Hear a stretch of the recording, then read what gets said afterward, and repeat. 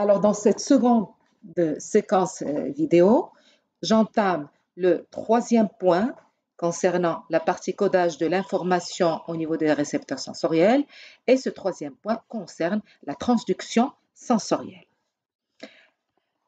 Alors, qu'est-ce que c'est que cette transduction? Eh bien, la transduction, c'est la fonction de base d'un récepteur sensoriel. Elle consiste à transformer l'énergie, qu'elle soit physique ou chimique, d'un stimulus en énergie bioélectrique, donc sous forme de message nerveux. Euh, la transduction, c'est au fait la conversion d'un stimulus physique ou chimique en un signal bioélectrique, donc un message nerveux qui est propageable au niveau euh, des fibres nerveuses euh, sensorielles. Il s'agit d'une modification des propriétés bioélectriques des cellules sensorielles excitées par un stimulus physico-chimique. Donc, en fait, c'est une modification des propriétés bioélectriques des cellules sensorielles qui sont excitées par un stimulus physico-chimique. Cette modification des propriétés bioélectriques est en général une dépolarisation, c'est-à-dire une entrée ou une rétention de charges positives, donc c'est-à-dire de cations. cette transduction sera à l'origine d'une dépolarisation ou encore, cependant, dans certains cas, comme c'est le cas du système visuel et qu'on va le voir par la suite, euh, la, modification des propriétés électriques euh, correspond à une hyperpolarisation, c'est-à-dire le blocage d'une entrée de charge positive. Donc, la modification électrique suite à un stimulus sensoriel peut être soit une dépolarisation, soit une hyperpolarisation. Alors, on va prendre euh, des exemples pour euh, vous rendre compte euh, des mécanismes de cette transduction sensorielle.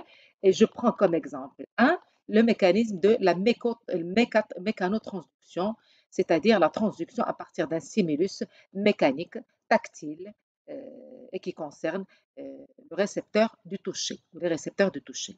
Alors, comme vous pouvez le voir sur cette diapositive, les récepteurs du toucher, donc c'est des récepteurs qui sont sensibles à une pression mécanique exercée sur la peau, par exemple, ou sur les muscles ou les articulations. le stimulus peut être un toucher, tout simplement, ou alors une vibration mécanique qui peut s'appliquer aussi sur ces récepteurs du toucher. Alors, ces récepteurs du toucher, vous les avez ici, qui sont schématisés. On trouve plusieurs types au niveau euh, de notre peau et au niveau des tissus sous-cutanés. Alors, il y a plusieurs types.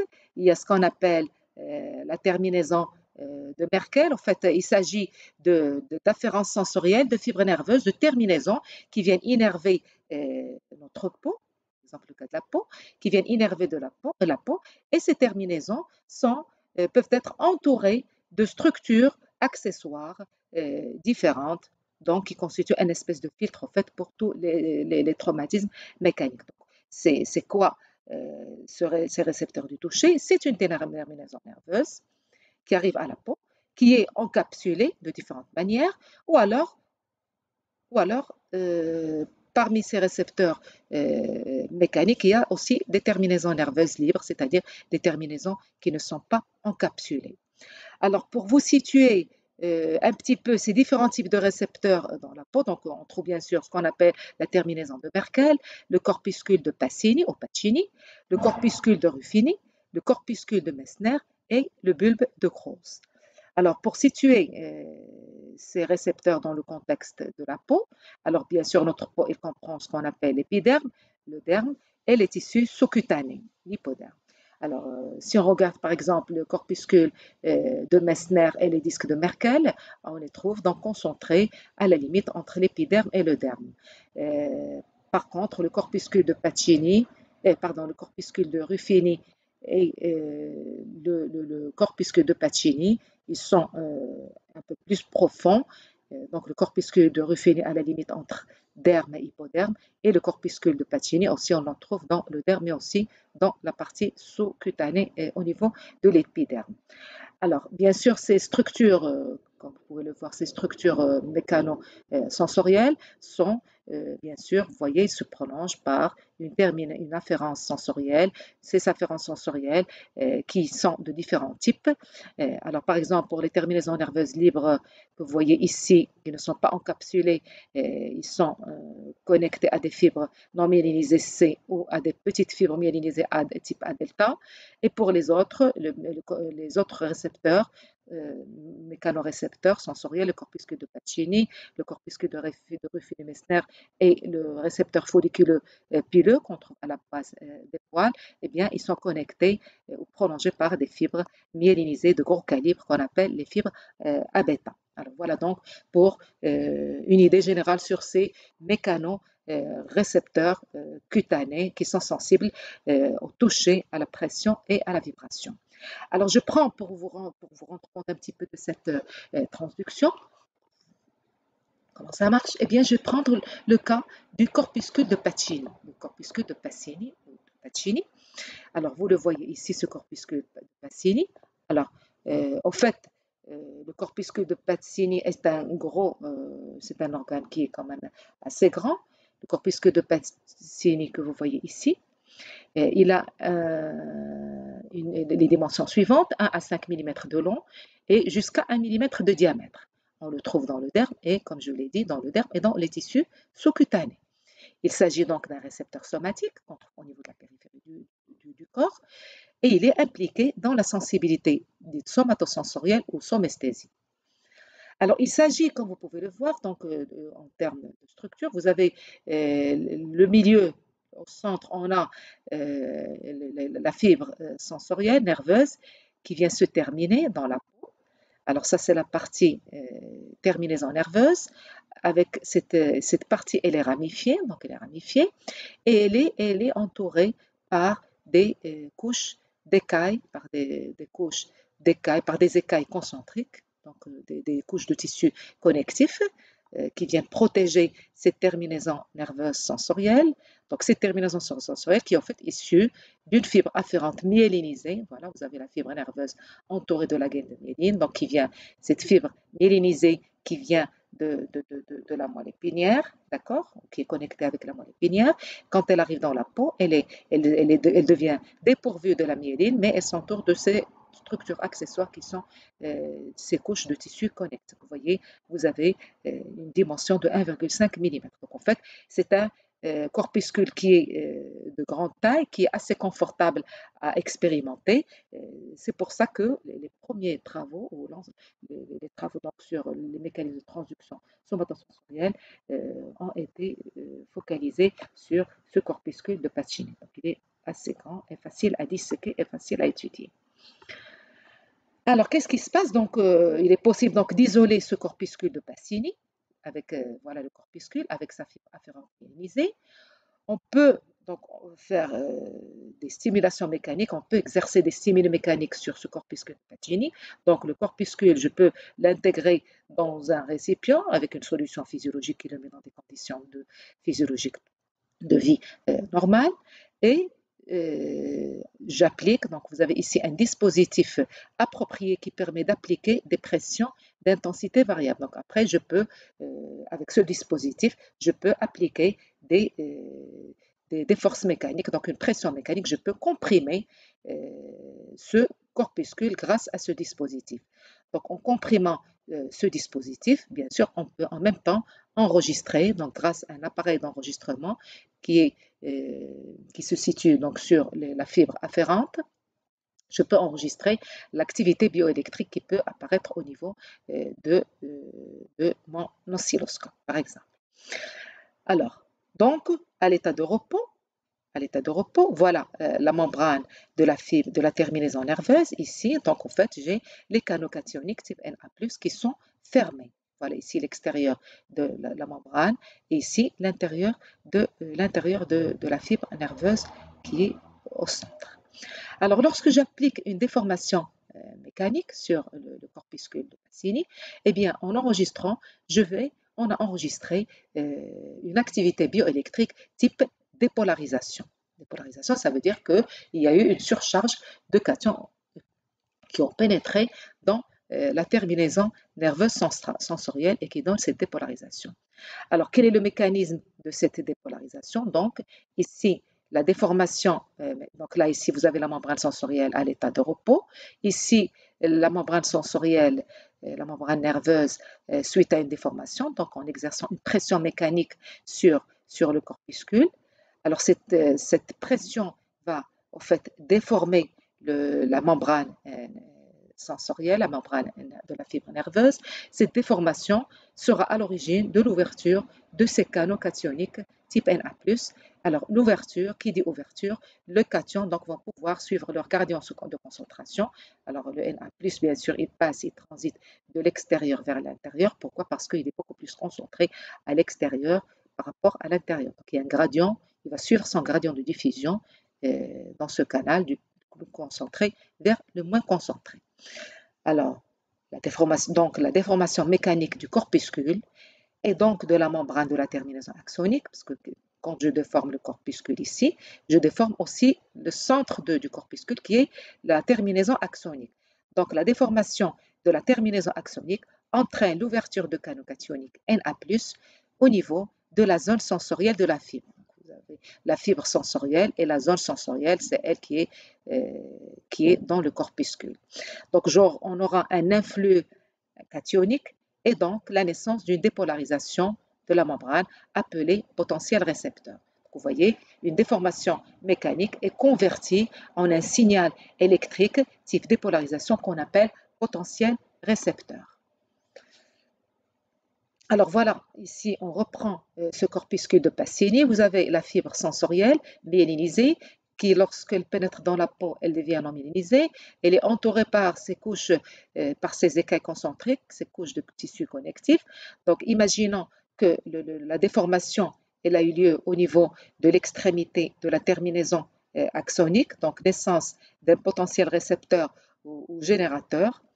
Alors, ce potentiel générateur, bien sûr, il a tendance à se propager. Il va se propager euh, dans ce sens et va se diriger, il aura tendance à se diriger, bien sûr, vers euh, le côté de la fibre myélinisée. Alors, or, cette propagation, c'est une propagation dite électrotonique, c'est-à-dire une propagation passive, c'est-à-dire que les charges Na+, qui ont pénétré dans la terminaison ont tendance à bouger parce qu'il y aura création d'un gradient interne de Na+, et le Na+, a tendance à diffuser, à circuler euh, de, la zone où il est plus concentré vers les moins concentrés. Donc j'aurai euh, une circulation de, des charges cationiques et au fur et à mesure qu'il circule, eh bien, j'aurai quelques charges Na+, qui vont être expulsées par euh, le système actif d'expulsion, c'est-à-dire par les pompes sodiques actives.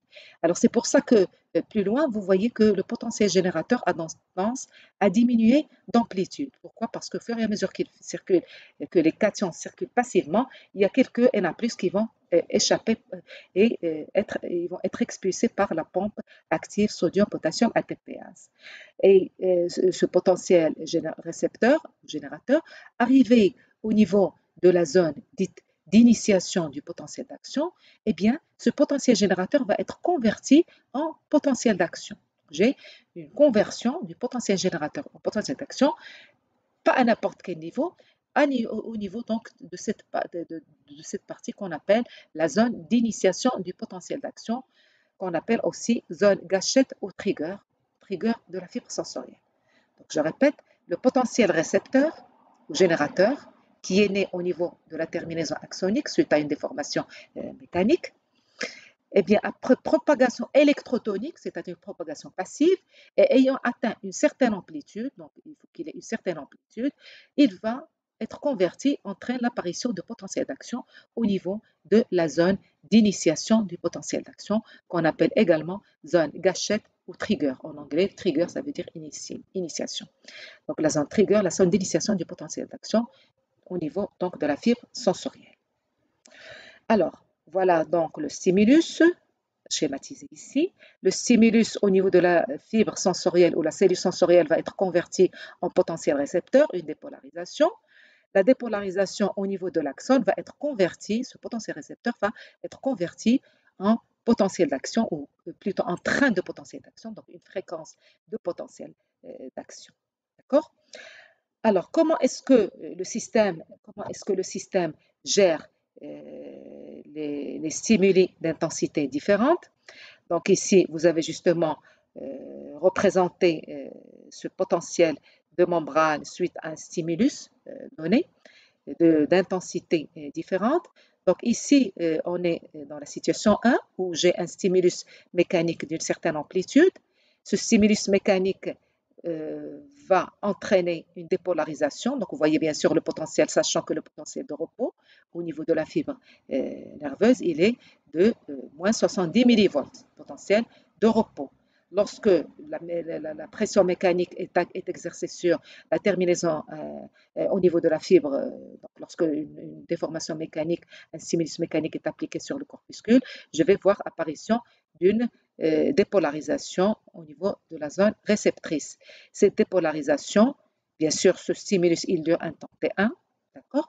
Et cette dépolarisation va être convertie au niveau de la fibre, sans, au niveau de la zone d'initiation du potentiel d'action, en un potentiel d'action. Alors, si on prend euh, maintenant euh, un second stimulus mécanique, mais d'intensité plus importante, donc un stimulus plus intense, donc une forte pression, plus forte pression mécanique, j'aurai euh, l'apparition d'un potentiel récepteur dépolarisant qui est plus grand. Voyez donc la, valeur pour vous donner, pour vous montrer que bien sûr on est passé d'une valeur de dépolarisation à une valeur plus importante de dépolarisation, donc un potentiel récepteur plus ample avec une amplitude plus grande. Ce potentiel récepteur va lui, euh, qui est plus ample, grand, va déclencher euh, des potentiels d'action, mais plus fréquents, plus fréquents que dans le premier cas, où le, stimulus mécanique était faible.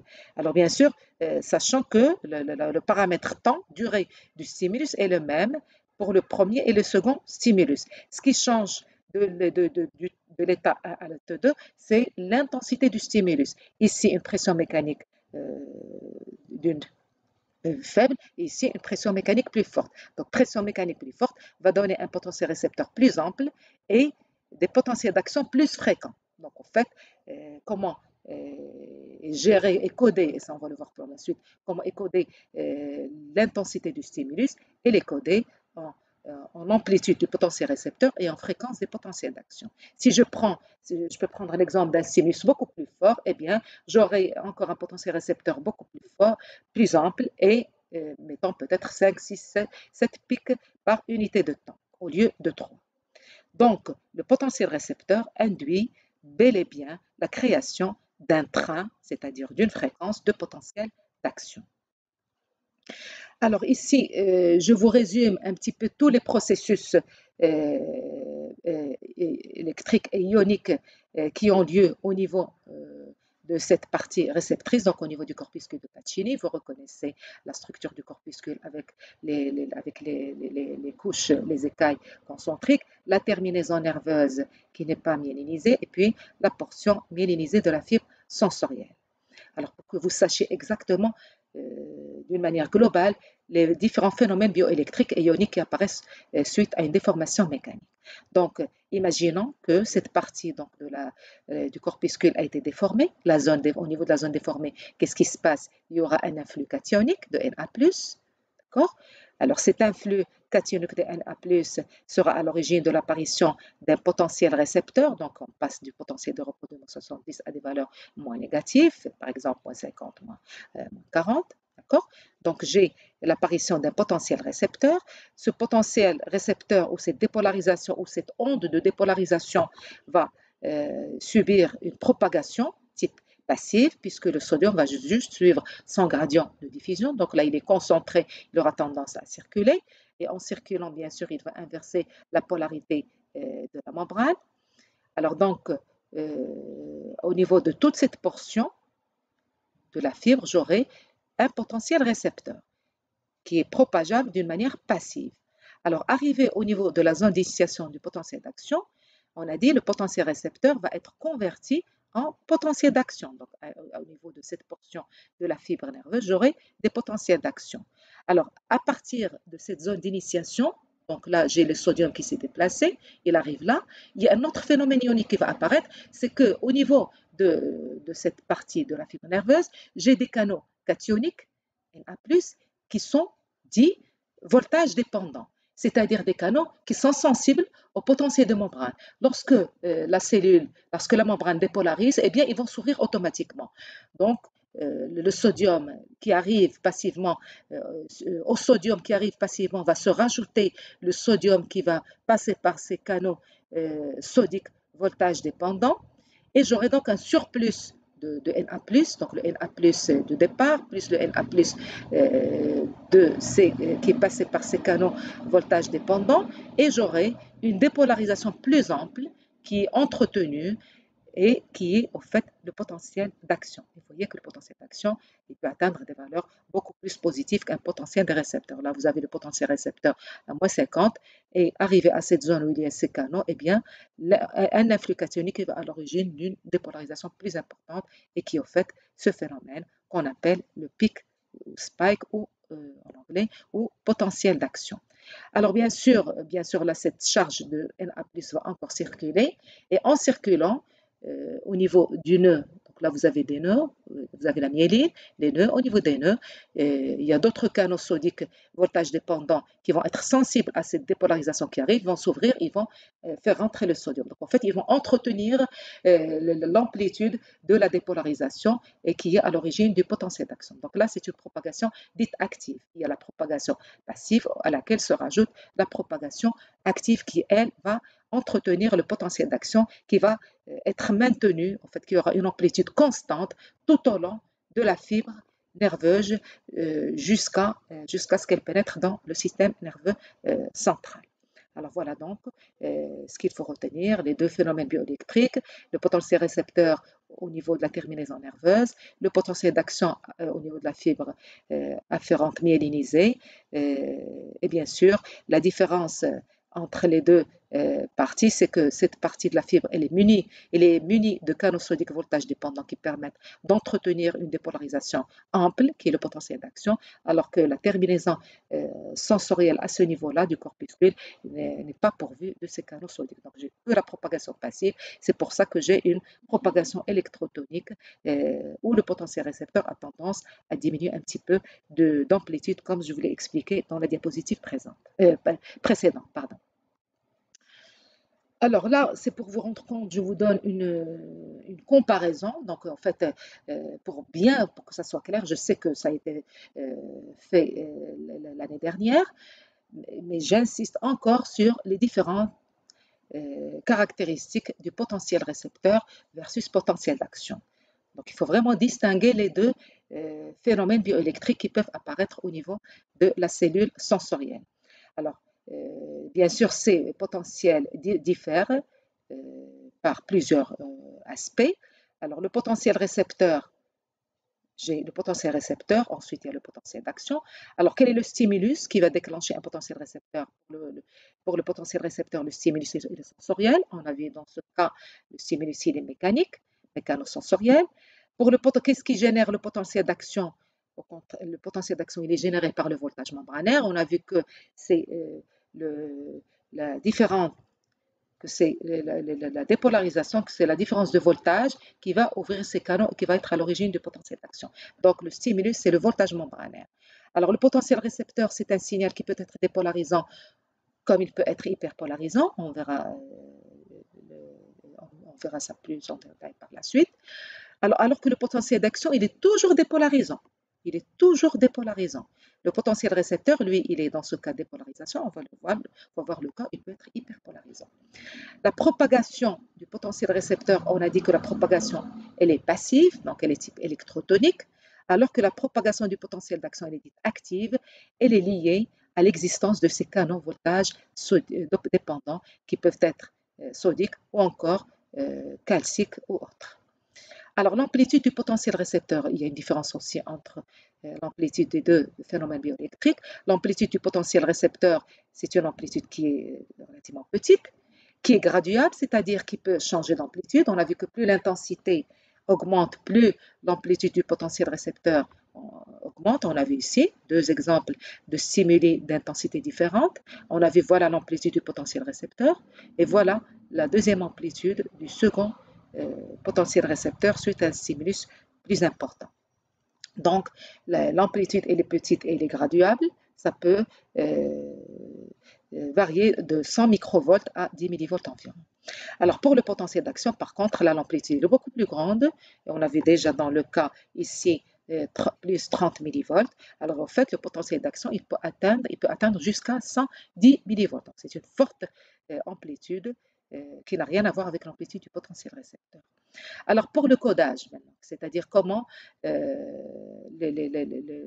la fibre sensorielle va coder l'intensité du stimulus. Alors on a déjà dit que l'intensité du stimulus est codée euh, en amplitude pour le potentiel des récepteurs, donc c'est une variation de l'amplitude du potentiel récepteur, et pour le potentiel d'action, c'est un codage en fréquence, c'est une variation en fréquence des potentiels d'action. Pourquoi? Parce que le potentiel, euh, il est tout ou rien, c'est-à-dire il a une amplitude tout ou rien, ou le potentiel, est, euh, il est généré ou il n'est pas généré. Il n'y a pas de potentiel d'action de petite amplitude, de grande amplitude. Donc il répond à la loi de tout ou rien. Et ce qui varie, donc en fonction de, euh, en fonction de, de l'intensité du stimulus, c'est la fréquence. Là, vous avez un seul potentiel d'action. Là, j'en ai trois, je peux en avoir dix, je peux en avoir 100. Donc, c'est un codage dit en fréquence, c'est-à-dire une variation euh, des potentiels d'action en fréquence suite à la variation de l'intensité du stimulus. Alors voilà donc pour la mécanotransduction concernant le stimulus euh, tactile, le récepteur tactile. Alors là, j'aborde un second exemple de mécanotransduction qui est la transduction à partir d'un stimulus sonore. sonore, c'est-à-dire une onde sonore, c'est-à-dire les sons qu'on entend et bien sûr la cellule sensorielle concernée, c'est la cellule auditive. Alors comme vous pouvez le voir ici, euh, avant de regarder cette transduction proprement dite, euh, vous voyez euh, comment s'organise notre oreille pour être sensible à ces stimulus sonores. Donc, en fait, notre oreille, elle comprend trois parties. La partie oreille externe, qui comporte le pavillon et le conduit auditif externe. L'oreille moyenne, qui contient le tympan et ce qu'on appelle les osselets des petits os de l'oreille moyenne, les osselets de l'oreille moyenne, d'accord? Et puis l'oreille interne qui abrite les organes sensoriels, l'organe de euh, l'audition qu'on appelle la cochlée et l'organe de l'équilibre que vous voyez ici qui est en bleu, qui est euh, au-dessus, qui se situe au-dessus de la cochlée, l'organe sensoriel l'audition. Et les deux organes sensoriels sont bien sûr euh, connectés aux nerfs, aux fibres nerveuses, fibres, fibres afférentes du nerf crânien auditif. Alors, si je regarde de près, donc pour vous montrer un petit peu plus en détail cette partie-là, la partie sensorielle et la partie euh, mécanique de, de, l'oreille. Donc, j'ai l'oreille externe avec le conduit auditif externe qui est limité par euh, le tympan, cette membrane tympanique, cette fine membrane euh, qui tapisse le fond de notre conduit auditif externe. Alors après, l'oreille euh, moyenne. Alors dans cette oreille moyenne, vous voyez trois petits, petites entités ici, qui sont en fait des petits os, des tout petits os miniatures qu'on appelle les osselets de l'oreille moyenne. Alors il y a le premier qui est articulé à la membrane tympanique, c'est le marteau. Ensuite, il y a l'enclume. Et ensuite, il y a l'étrier. Ensuite, il y a l'étrier. Alors, ces osselets sont euh, en euh, contact, sont euh, fait, connectés avec la partie avec l'organe sensoriel de l'audition qui est la cochlée, qui est cette espèce d'escargot. Voilà. Donc la partie qui est concernée par les stimuli mécaniques sonores, c'est cette partie-là, voilà la partie aérienne et voilà la partie, euh, euh, disons, euh, liquide. Et voyez, par-dessus la cochlée, vous voyez encore les canaux, ici l'organe de l'équilibre qui, qui comprend, qui est en fait une, un ensemble de sacs semi-circulaire euh, articulé à un organe sous forme de sac, de sac euh, qui sont l'utricule et le sacule. Et bien sûr, ces organes sensoriels sont connectés au nerf cochléaire pour la cochlée et le nerf vestibulaire et le nerf, la branche vestibulaire du nerf, nerf crânien numéro 8. Donc la branche.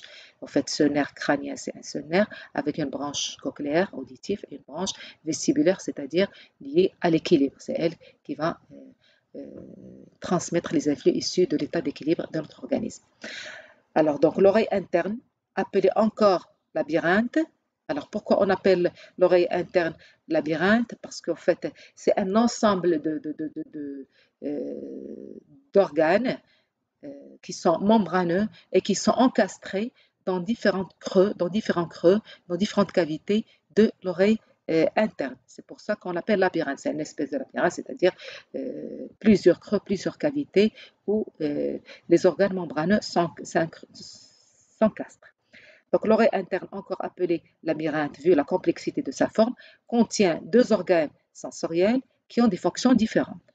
Alors l'organe de l'audition, c'est la cochlée, voilà, qui est connecté à ces osselets de l'oreille euh, moyenne, et l'organe de l'équilibre, qu'on appelle le vestibule, que vous voyez ici, qui est en fait un ensemble de canaux semi-circulaires, plus des canaux sous forme de sac, l'utricule et le sacule constitue le vestibule. Alors voilà donc euh, l'ensemble des deux organes euh, sensoriels extraits de, l'oreille pour vous montrer schématiquement comment ça se présente. Donc vous avez la cochlée avec la fibre, avec le, nerf afférent et le vestibule qui comprend ces trois canaux semi-circulaires plus l'utricule et le sacule.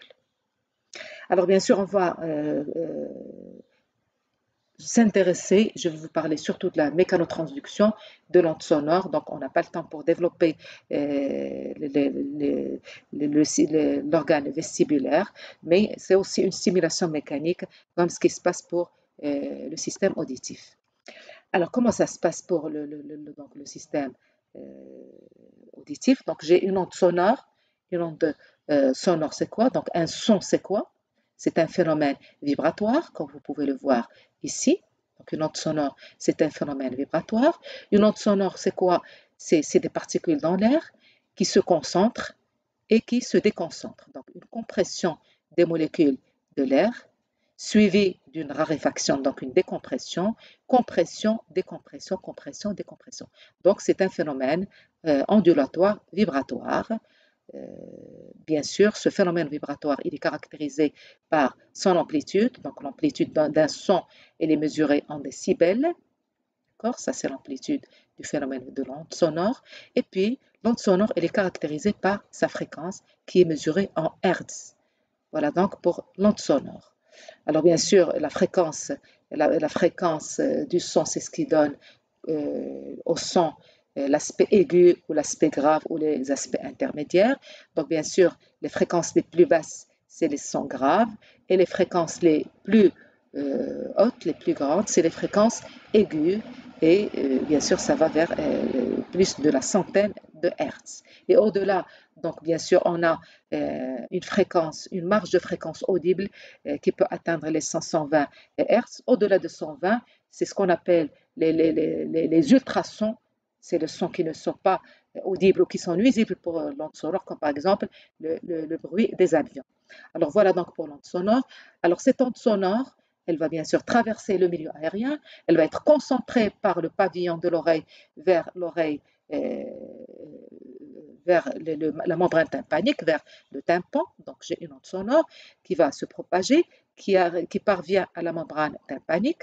La membrane tympanique qui est bien sûr euh, qui est membranaire, donc qui est molle, elle va se déformer. Donc il y aura euh, déformation de la membrane tympanique qui va se trouver en mouvement. Alors le mouvement de la membrane tympanique, donc il va euh, provoquer en fait un mouvement toujours dans le milieu aérien de cette chaîne des osselets de l'oreille moyenne dont je vous ai parlé. Alors il y a le marteau, l'enclume et l'étrier.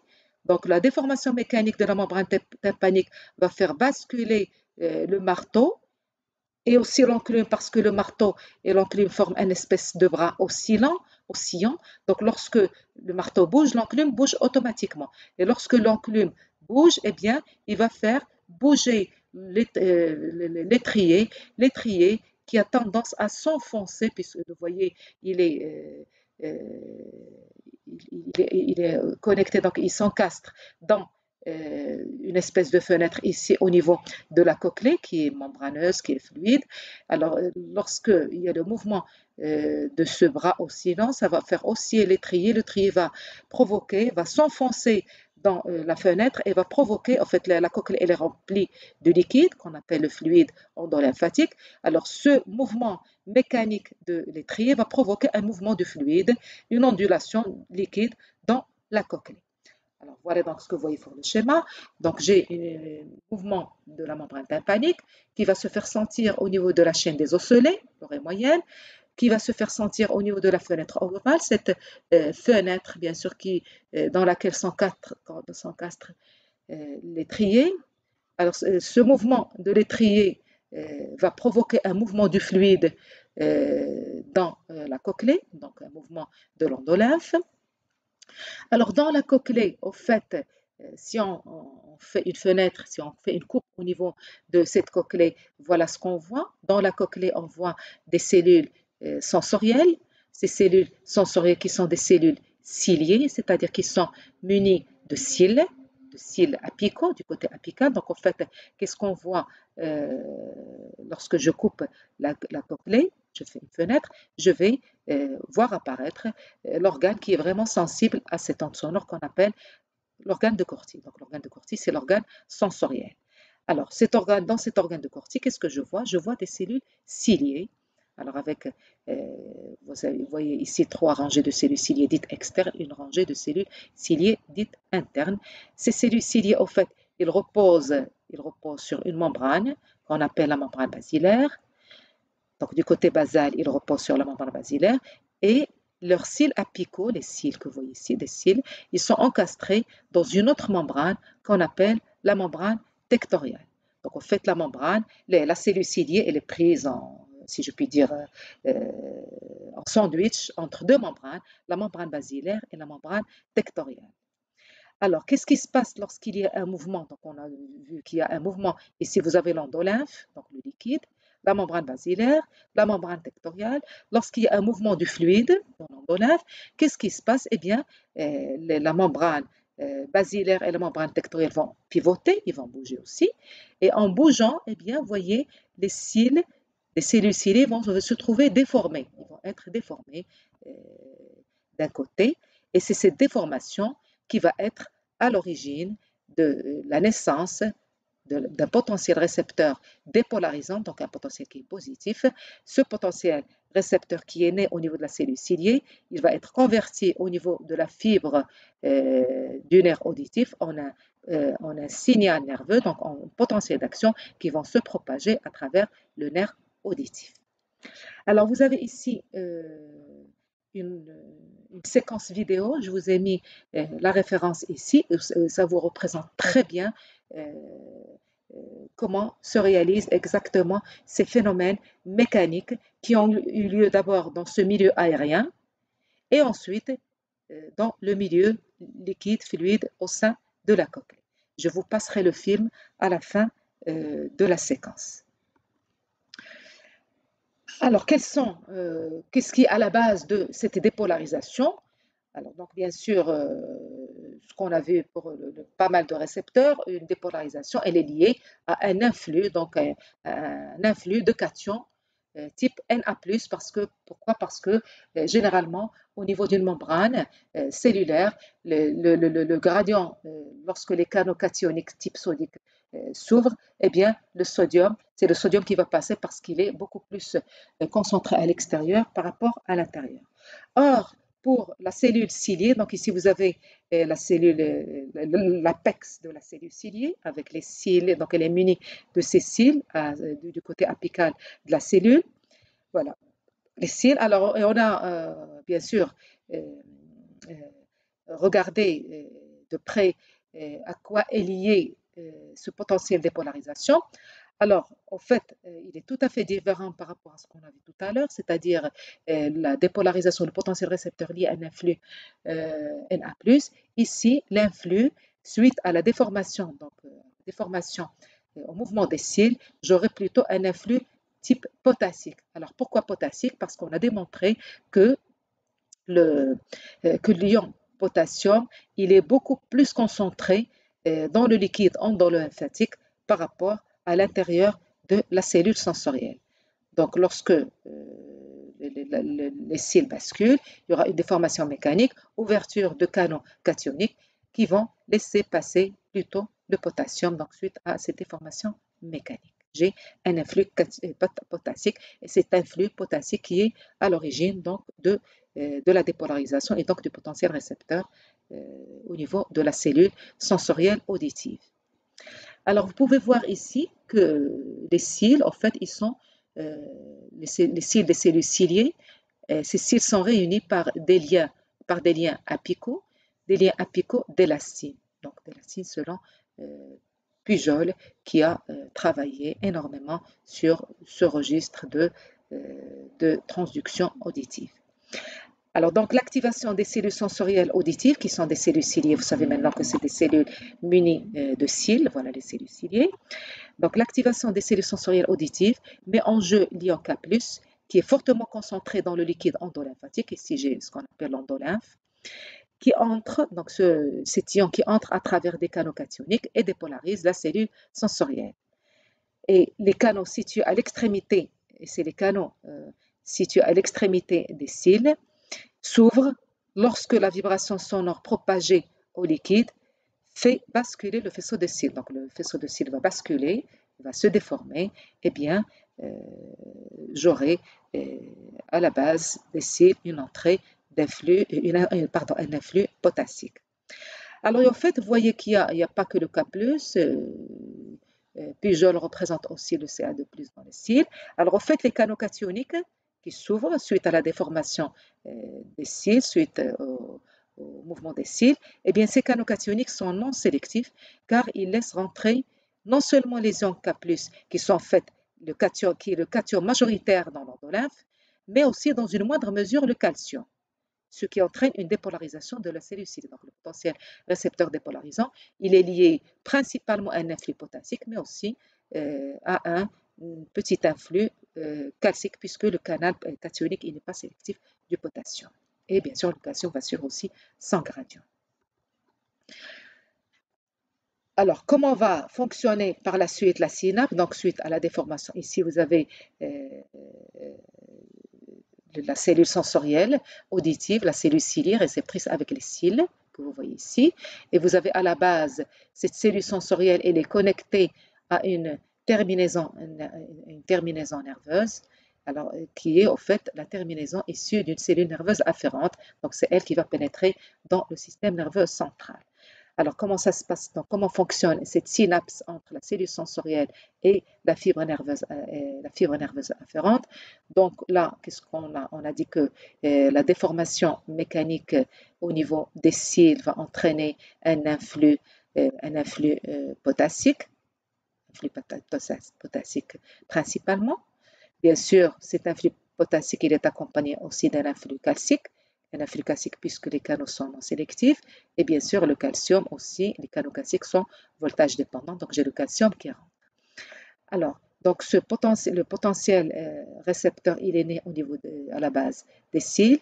Il va être propagé d'une manière passive, comme ce qu'on a vu pour le corpuscule de Pacini. Il va se propager jusqu'au niveau de, de, la, de, la, base de la cellule ciliée. Alors, cette propagation, cette dépolarisation qui est à l'origine de l'influx euh, calcique. Alors le calcium, qu'est-ce qui va arriver au calcium Le calcium qui rentre, eh bien c'est lui qui va permettre euh, la libération du neurotransmetteur. Donc c'est le, calcium qui va permettre l'exocytose du neurotransmetteur qui est qui n'est autre que le glutamate, c'est un neurotransmetteur excitateur, qui va stimuler la fibre nerveuse afférente. Donc naissance ici d'un potentiel, potentiel post-synaptique excitateur. Vous avez déjà vu ces phénomènes bioélectriques euh, dans votre euh, cours euh, de S4. Donc, le potentiel, donc là, ici, on l'appelle le potentiel récepteur. Il va se propager, va libérer le neurotransmetteur. Le neurotransmetteur va provoquer l'apparition d'un potentiel dit PPSE ou potentiel générateur. Ce potentiel postsynaptique excitateur qui arrive au niveau de la zone d'initiation de la fibre nerveuse afférente va être converti en potentiel d'action. Donc au niveau de la fibre myélisée, potentiel d'action qui est autopropagé jusqu'au niveau du centre. Alors voilà donc comment fonctionne cette synapse.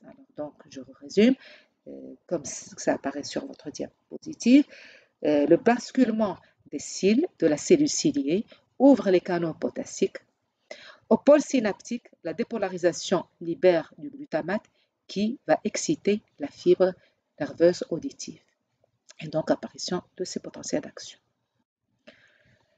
Alors voilà, donc on a vu euh, ici deux cas de mécanotransduction. Le premier cas de mécanotransduction somatique, où on a vu que, vous voyez, euh, le potentiel récepteur au générateur apparaît au niveau de la fibre sensorielle et il est converti au niveau de la même cellule en potentiel d'action. Or, au niveau de, la transduction, la mécanotransduction auditive, eh bien, on a vu que le potentiel récepteur, que la cellule réceptrice ne fait que le potentiel récepteur et le potentiel d'action, il apparaît au niveau d'une deuxième cellule afférente, nerveuse, euh, comme vous pouvez le voir sur le schéma. Alors, on va parler maintenant, euh, donc on a cité deux exemples de mécanotransduction, on va voir deux exemples de chémotransduction, donc transduction à partir d'un stimulus chimique. On va voir le cas du récepteur olfactif et du récepteur gustatif. Alors, on va commencer par le récepteur olfactif. Donc, avant de voir cette transduction proprement dite, euh, et pour vous situer un petit peu où se situe euh, cet organe sensoriel de l'odorat. Donc, ici, vous voyez au niveau de notre, donc au fond de, du nez, au niveau de la muqueuse nasale. Donc, on a voilà la zone où se situe euh, la partie sensible de l'odorat, donc de ce qu'on ressent. Alors, euh, cette partie, on agrandit. Voilà ce que ça donne. Donc, au, fait, nous avons des récepteurs sensoriels olfactifs. Donc, vous avez la légende ici euh, en anglais. Euh, mais elle est, vraiment claire, donc vous pouvez sans problème euh, traduire en français. Donc, ici, vous avez des cellules réceptrices olfactives, donc au fait qui tapissent notre muqueuse nasale, au fond de notre muqueuse nasale. Ces récepteurs olfactifs, vous voyez, ils sont munis de cils, euh, ils sont munis donc en fait, il y a un prolongement périphérique qui est muni de cils, qui, donc ces cils qui sont qui sont dans euh, le mucus, d'accord? Et puis, ces cellules, ces cellules réceptrices olfactives sont munies d'un second euh, prolongement qui, lui, va vers le centre nerveux. Et le premier centre euh, nerveux relais, où s'arrête, où, va être relayée l'information olfactive, c'est ce qu'on appelle les bulbes olfactifs. Donc, vous voyez ici deux espèces d'excroissance nerveuse, d'accord, qui arrivent, donc qui sont en fait c'est un prolongement de notre cerveau, deux excroissances, comme deux espèces de, de, cornes qui arrivent dans la partie et qui viennent innerver euh, la muqueuse nasale. Donc, à ce niveau du bulbe, des bulbes olfactifs, on en a deux, un gauche et un droit, et ces cellules réceptrices olfactives viennent faire synapse au niveau de cellules euh, dans le bulbe olfactif, ces cellules qu'on appelle les cellules mitrales. Voilà, cellules mitrales qui vont véhiculer l'influx euh, le message olfactif vers le cerveau et aussi va renseigner, informer l'autre bulbe de ce qui est en train de se passer comme transduction au niveau euh, d'un côté et vice-versa. Donc là aussi, les traitements qui se font à ce niveau-là vont, euh, vont être transmis pour informer l'autre bulbe de ce qui est traité de l'autre côté. Voilà. Donc là, ça vous rend compte de, des projections issues des récepteurs olfactifs vers les bulbes olfactifs. Alors, euh, j'insiste sur un détail, c'est que le récepteur euh, olfactif ici, c'est un neurone, en fait, c'est un neurone, proprement dit, c'est un neurone muni de deux pôles, donc c'est un neurone bipolaire avec un pôle dendritique qui va vers la périphérie et un pôle axonique qui va innerver, euh, qui se projette dans le bulbe olfactif pour aller en contact synaptique avec, avec les cellules du bulbe olfactif qui sont les cellules mitrales. Alors, si on regarde de près cet épithélium sensoriel euh, olfactif, donc voilà euh, que l'épithélium olfactif, euh, c'est l'épithélium olfactif de vertébrés. Donc ici, vous avez le côté de, l'extérieur, donc le côté de la partie aérienne de, l'entre-nez, le côté où il y a le mucus, ce liquide visqueux qui se trouve dans, qui tapisse, donc qui couvre la muqueuse olfactive. Donc j'ai le mucus, et en dessous, j'ai l'épithélium sensoriel. Alors, dans cet épithélium olfactif, qu'est-ce qu'on trouve? Voilà les récepteurs olfactif dont j'ai parlé tout à l'heure, donc récepteur cell, c'est-à-dire la cellule réceptrice. Et on a dit que c'est une cellule, c'est un neurone bipolaire avec un pôle, il, envoie un pôle dendritique vers le côté du mucus, donc ce pôle dendritique, voyez, qui devient euh, sous forme de bouton, ce qu'on appelle le knob, knob olfactory knob en anglais. Olfactory knob, c'est le bouton olfactif à partir duquel émergent de nombreux cils qu'on appelle les cils olfactifs. Donc les cils, vous voyez, ils sont euh, noyés dans le mucus, euh, mucus externe. Alors, à côté de ces récepteurs sensoriels, il y a ce qu'on appelle les, cellules de support. Donc, l'épithélium, est soutenu par des cellules de support, donc qui n'ont rien à voir avec les cellules réceptrices. Et on trouve comme autre type cellulaire ce qu'on appelle les cellules Alors, à quoi servent ces cellules basales? Au fait, c'est des cellules qui servent au remplacement des cellules réceptrices qui ont dégénéré. Il faut savoir que euh, la durée de vie de nos récepteurs olfactifs est limitée, elle est environ de deux mois, qui peuvent être remplacées par ces cellules basales. Donc après, cette cellule basale, elle va se différencier. Donc vous voyez, la cellule basale, elle n'a pas, elle, n'a rien de, de, la structure d'une cellule nerveuse. Ensuite, elle va se différencier pour développer ces prolongements. Alors, voyez ici, vous avez une cellule qui est en train euh, de développer ses prolongements, donc developing receptor cell. Elle est en train de développer ce prolongement. Elle envoie un prolongement vers la périphérie, voilà le prolongement dendritique, et elle, euh, envoie un prolongement euh, axonique vers le bulbe olfactif. Donc, l'olfactory bulbe, c'est le bulbe olfactif. Donc, vous voyez que c'est des cellules qui dégénèrent et qui peuvent être renouvelées. Alors voilà, ici de près, euh, pour vous montrer euh, ce bouton olfactif avec les cils qui partent. Voilà, donc j'ai la dendrite, cette dendrite-là, la dendrite, qui devient enflée à l'extrémité constituant le bouton. À partir du bouton olfactif émergent les cils. Voilà, la structure que vous voyez ici. Alors, comment se passe euh, le, mécanisme de transduction? Parce que bien sûr, le, dossier, l'aspect qui nous intéresse, auquel on s'intéresse dans, cette, partie, c'est la transduction.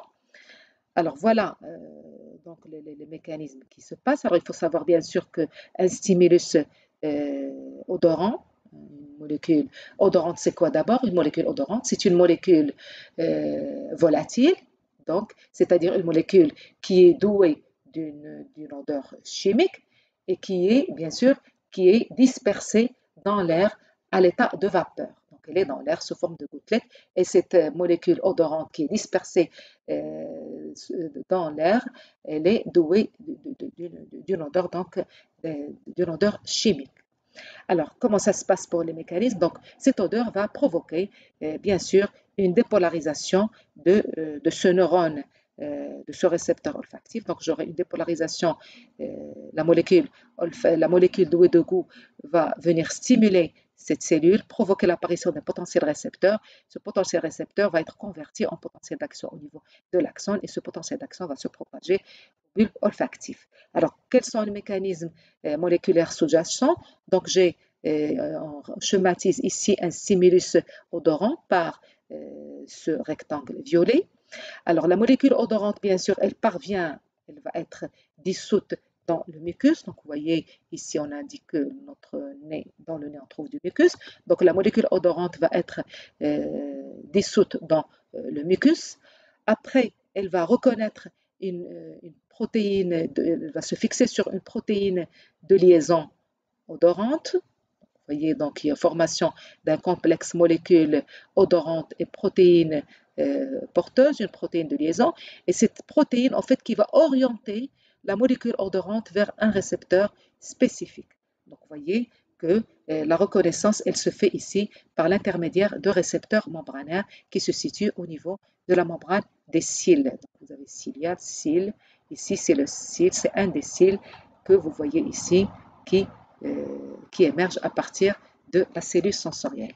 Donc la molécule odorante va être orientée, va se fixer grâce à cette protéine de liaison l'OBP, vers son récepteur.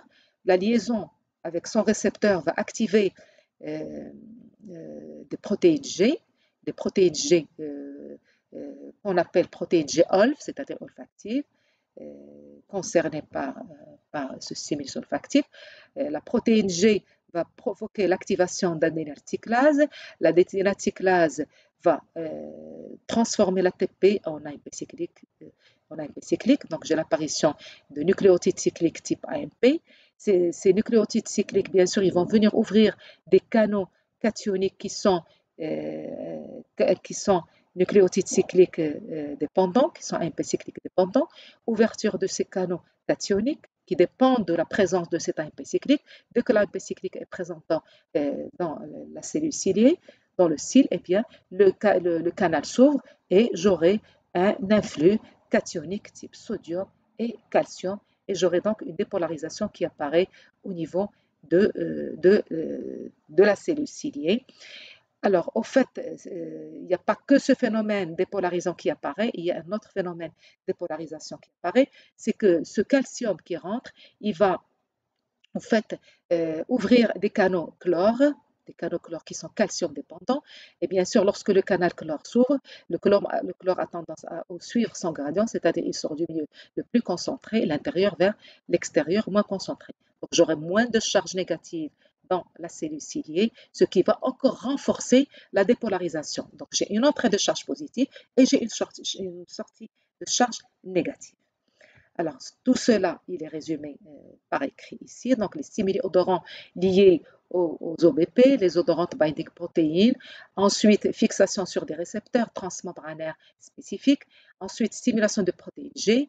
Ensuite, activation la cyclase, formation d'AMP cyclique, liaison de l'AMP cyclique avec des canaux spécifiques des cations, ouverture des canaux cationiques qui sont donc euh, nucléotides cycliques, euh, c'est des canaux euh, cycliques, nucléotides cycliques dépendants, donc CNG, nucléotides cycliques dépendants, et entrée par la suite de Na+, Ca2+.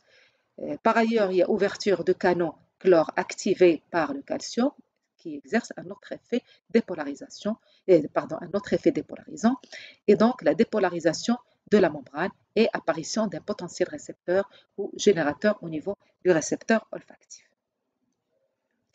Alors bien entendu, parfois vous voyez euh, des références citées euh, dans, le, diaporama pour vous rendre compte de, la source euh, des, des, données que j'affiche dans la diapo. Alors, comment, euh, comment est gérée donc l'intensité du stimulus euh, au niveau du récepteur olfactif. Donc on a vu dans ce cas du récepteur olfactif qu'il y a apparition d'un potentiel récepteur au niveau de la partie dendritique qui va être converti en potentiel d'action, donc avec qui va être codé en fréquence. Le potentiel récepteur, lui, il est codé en amplitude. Alors, on prend euh, le cas, donc, euh, on a fait ici des enregistrements intracellulaires. Euh, donc, grâce à des électrodes intracellulaires, on a fait des enregistrements au niveau d'un récepteur olfactif sur lequel on a appliqué, des stimuli olfactifs chimiques, deux stimuli, l'isoamyle acétate et le camphre, ce qu'on appelle en arabe le. Donc, deux molécules odorantes lorsque je les applique sur récepteur olfactif, je vais enregistrer l'activité électrique qui apparaît. Alors bien sûr, euh, de haut en bas, on va faire augmenter la concentration de la molécule odorante. Alors qu'est-ce qu'on constate? À faible concentration, là par exemple, j'ai un potentiel d'action qui apparaît au niveau de la fibre, au niveau du récepteur olfactif. Alors, voyez que ici, au niveau du récepteur olfactif, on a dit, c'est une cellule nerveuse. Donc, là, ce que je vais enregistrer, euh, je peux enregistrer euh, des potentiels d'action. Donc, j'ai un pic pour cette concentration et pour les deux molécules odorantes. Plus j'augmente la concentration de ces molécules odorantes, qu'est-ce qui se passe au niveau du récepteur olfactif? Eh bien, j'ai l'apparition de potentiels d'action qui sont de plus en plus fréquents. Donc, une augmentation de la fréquence des potentiels d'action avec, en principe, une amplitude qui est constante pour le potentiel d'action. Donc, qu'est-ce qu'on constate? Que la fréquence de décharge des récepteurs augmente, la fréquence de décharge augmente avec l'augmentation de la concentration du haut vers le bas du tracé. Vous voyez que euh, là, euh, ça vous démontre encore euh, cet aspect de codage en fréquence dont j'ai parlé, c'est-à-dire que l'intensité du stimulus, il est codé au niveau la, du récepteur sensoriel sous forme de fréquence de potentiel d'action. Ce qui change, c'est le nombre de pics qui apparaît par unité de temps. Donc là, vous voyez, j'avais un pic par unité de temps. Là, on peut compter mettant 7, ensuite je peux compter 15, et là plus, etc. Alors voilà donc euh, pour le, premier cas de chémotransduction concernant le récepteur olfactif. Euh, je passe maintenant à la transduction à partir d'un stimulus chimique et qui concerne le récepteur gustatif, donc le goût. On est capable de déguster, de goûter des molécules, euh, des aliments qui nous parviennent à la langue. On est capable de différencier différents types de goûts. Donc, on est capable de percevoir au niveau de notre cortex cérébral différents types de goûts. Et ceci le point de départ, c'est la stimulation du récepteur gustatif qui se situe euh, en particulier au niveau de la langue. Alors, où se trouvent ces récepteurs gustatifs? Alors, euh, si vous regardez euh, la langue de près, en fait, vous verrez que la partie, vous pouvez même le voir à l'œil nu, la partie dorsale de notre langue, elle est munie de petits, de petits points, comme des petits points de ce qu'on appelle des papilles gustatives, des petits enflements d'accord, qui changent euh, de, disons de, structure et de diamètre. Euh, j'ai des papilles euh, sur les, parties donc, antérieures et médianes qui ont cette forme-là, et puis tout au fond de la langue, j'ai des papilles qui apparaissent plus grandes et qui ont une autre structure. Alors, ces papilles, en fait, c'est ces petits enflements, lorsque je les regarde de près, en fait, ils correspondent à des replis de la muqueuse de la langue. C'est des replis de la muqueuse, qu'on appelle les papilles, des, replis.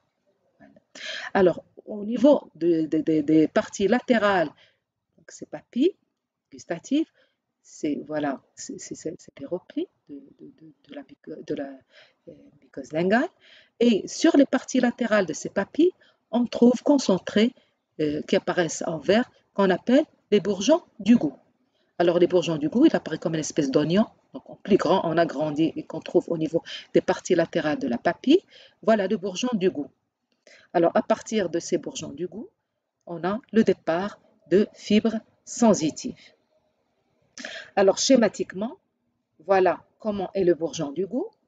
Donc schématiquement, pour vous rendre compte des différents types de cellules, de la structure de cet épithélium euh, gustatif. Donc bien sûr, j'ai euh, voilà euh, la partie externe euh, de, la langue. Donc ici, j'ai un port. Alors taste en anglais, ça veut dire gustatif.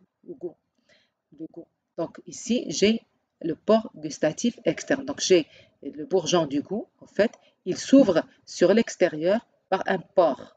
Donc c'est ça, ce port qui va permettre le contact entre la molécule gustative, donc les différentes molécules de goût qui arrivent des aliments euh, au contact de, ce bourgeon du goût. Alors qu'est-ce qu'on trouve dans cet épisode sensoriel? Alors exactement comme ce qu'on a vu pour l'épithélum olfactif. Donc j'ai des récepteurs gustatifs. Voilà la cellule. Alors taste celle, c'est-à-dire cellule gustative. Alors je trouve donc la cellule gustative, d'accord?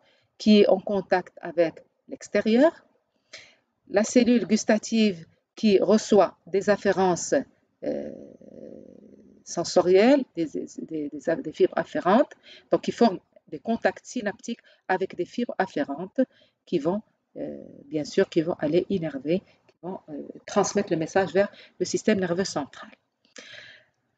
Alors, en plus grand, vous avez ici donc la cellule gustative. Donc, à la base, vous avez la synapse entre la cellule gustative et les fibres afférentes, que vous voyez là.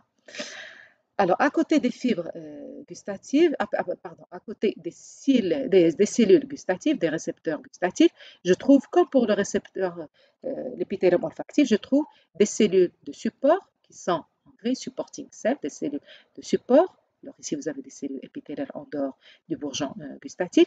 Et vous avez aussi à la base des cellules basales. Et vous devinez, comme pour euh, les, cellules, les récepteurs olfactifs, eh bien, les cellules gustatives peuvent être aussi renouvelées à partir de cellules basales. Alors, euh, comme pour les récepteurs olfactifs, les récepteurs gustatifs ont une durée de vie limitée, mais qui dure environ que deux semaines. Ils sont continuellement remplacés par les cellules basales. Alors, Alors, ces récepteurs gustatifs, en fait, ils peuvent être stimulés par divers goûts. Alors, en fait, il y a des divers goûts, il y a des centaines et des centaines euh, de goûts.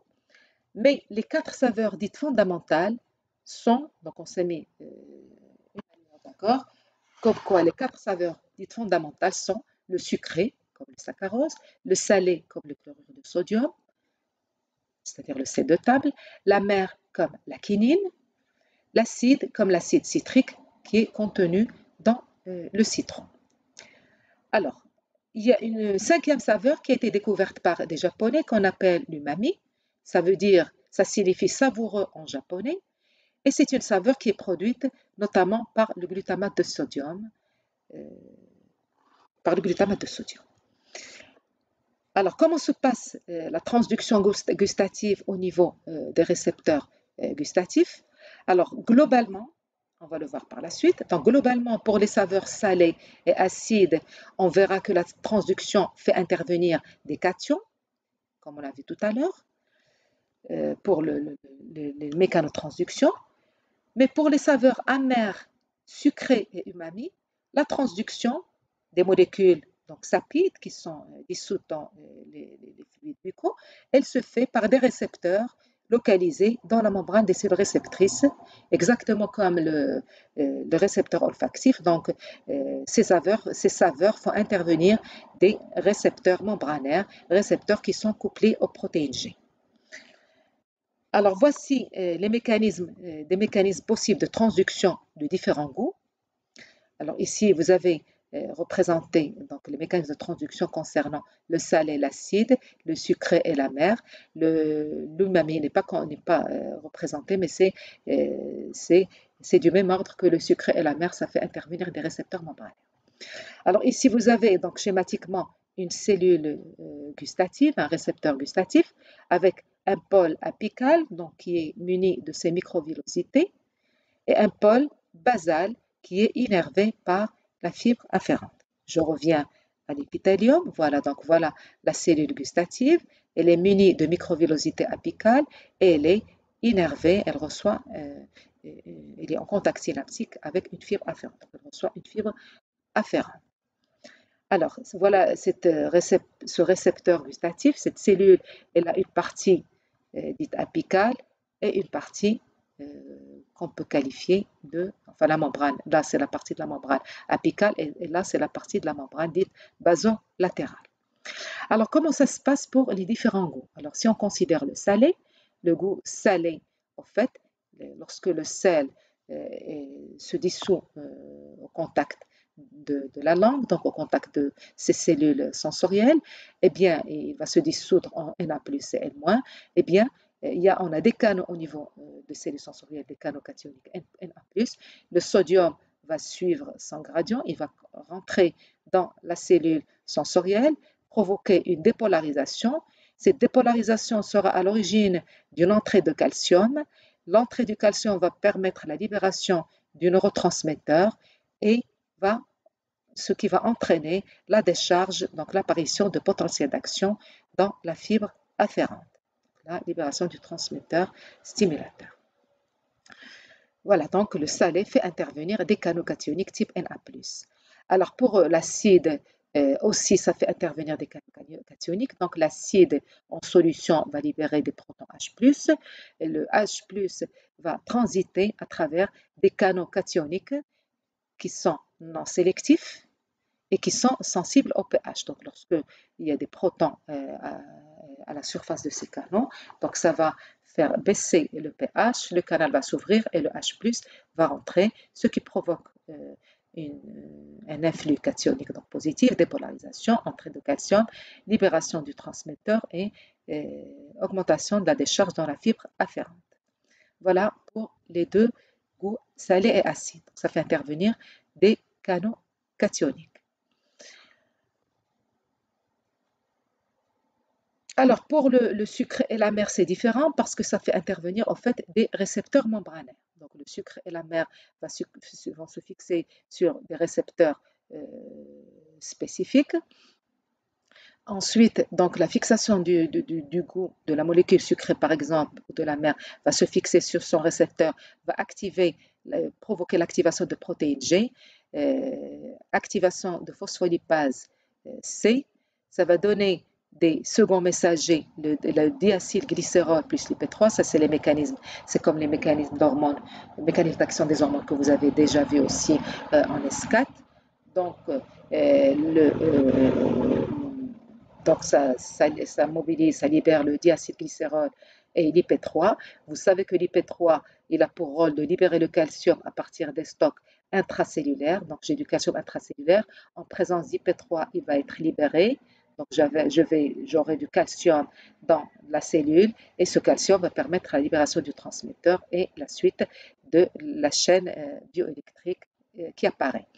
Euh, le diacylglycérol, lui, il peut agir sur des canaux cationiques qu'on appelle TRP M5. Alors TRP, c'est transient, transient récepteur potentiel channel family. C'est une famille de canaux potentiels récepteurs dits transitoires, qui vont s'ouvrir et qui vont laisser passer des cations donc le passage de cation, bien sûr, ça va provoquer la dépolarisation et ça va agir selon donc, cette cascade que vous voyez ici. Donc vous voyez que les sels et l'acide ne font pas intervenir de récepteurs membranaires, comme je vous l'ai décrit ici. Donc pour les saveurs salées et acides, la transduction se fait par des cations.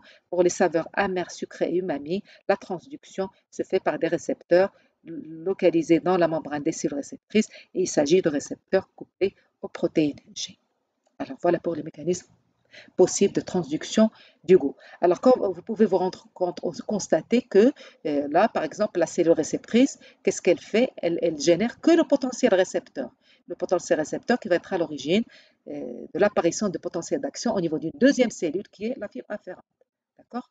Alors que pour l'olfactif, on a vu que le, potentiel récepteur au niveau apparaît, au niveau de la, la, partie dendritique et il va être converti en potentiel d'action au niveau de la même cellule réceptrice, potentiel d'action ici qui va être propagé jusqu'au niveau du bol olfactif. Donc il y a une nuance, euh, euh, ça veut dire il peut y avoir intervention d'une seule cellule, euh, d'une cellule, sensorielle qui va faire le potentiel récepteur et le potentiel d'action, ou alors la cellule sensorielle ne fait que le potentiel récepteur et le potentiel d'action, il est généré au niveau d'une deuxième cellule. Alors, on s'est intéressé par la suite à la spécificité de ces récepteurs gustatifs, c'est-à-dire que euh, comment ça se passe? Est-ce que euh, chaque récepteur, chaque cellule réceptrice gustative est sensible à un type de stimulus chimique, du goût, ou alors le récepteur il peut être sensible à plusieurs stimuli de goût différents. Donc, on a fait l'étude euh, sur un récepteur gustatif de hamster. Donc, vous voyez ici une papille gustative, euh, ici un bourgeon du goût. Au niveau du bourgeon du goût, les auteurs ont implanté une électrode, d'accord? Et euh, grâce à cette électrode, ils vont pouvoir enregistrer l'activité bioélectrique qui apparaît au niveau de la cellule réceptrice suite à l'application à la surface de la langue d'une substance douée de goût. Donc voilà, euh, ils ont appliqué euh, à la surface de la langue du hamster différents goûts. Le goût salé, NaCl, le goût amer, la quinine, c'est une euh, dérivée d'une plante, le sucrose, sucré, HCl, acide. Alors, qu'est-ce qu'on constate? Donc, on enregistre l'activité électrique suite à l'application de chaque molécule chimique. Qu'est-ce qu'on constate? Alors, l'apparition, bien sûr, on a dit que au niveau de la cellule réceptrice, on va enregistrer quoi? Des potentiels récepteurs. Donc, c'est dépolarisation. Pas de potentiel d'action. C'est ce que vous voyez ici, des dépolarisations. Alors, donc, suite au NaCl, qu'est-ce qu'on enregistre? On enregistre une dépolarisation suite à la kénine aussi, suite au sucrose et au HCl. Donc, en fait, les quatre molécules et de goût vont stimuler le, le récepteur. Qu'est-ce qui change? C'est l'amplitude de la dépolarisation, c'est-à-dire l'amplitude du potentiel récepteur. Vous voyez que, par exemple, l'amplitude pour le NaCl, elle est la plus grande. Pour la quinine, elle est moindre. Pour le sucrose, elle est encore plus faible. Donc, euh, on constate que lorsqu'on enregistre le potentiel récepteur à partir de ce récepteur gustatif, on constate donc que le, récepteur répond à quatre types de stimuli basiques appliqués sur la surface de la langue. Il s'agit donc d'un récepteur gustatif non spécifique. Donc chaque récepteur peut répondre à différents types de stimuli chimiques, mais il répond d'une manière maximale à un goût donné. Donc en fait, pour chaque goût, donc en fait, chaque récepteur gustatif va être stimulé à un degré donné. Donc en fait, j'aurai euh, un schéma activationnel qui va apparaître au niveau euh, de la langue et cette euh, carte topographique activationnelle sur la langue, elle va être perçue par le cerveau comme étant le NaCl ou alors comme étant la mer ou l'acide, etc.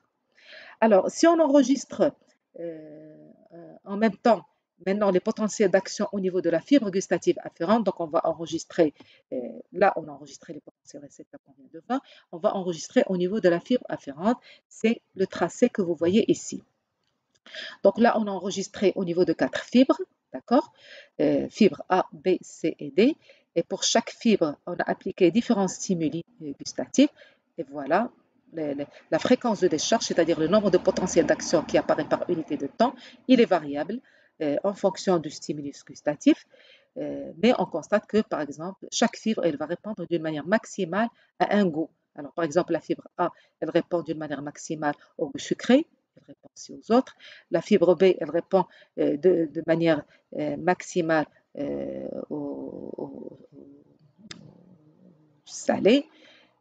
là, l'acide, et puis la fibre D, euh, acide, mais euh, elle répond euh, d'une manière, disons, assez équivalente pour les, quatre, les quatre fibres. Donc il y a différents types de cas de figure.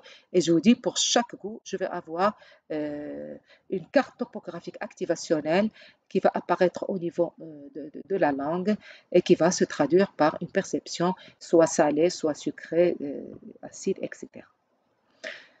Alors voilà donc, on peut dire le récepteur gustatif est un récepteur non spécifique puisqu'il peut être activé par différents types de, goûts, d'accord?